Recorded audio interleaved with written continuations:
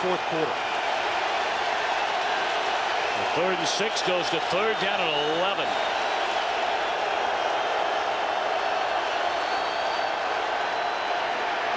Orton dancing around and down he goes.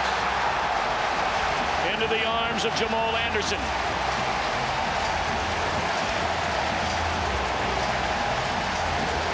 The Bears will have to punt it away and we'll punt it away to Los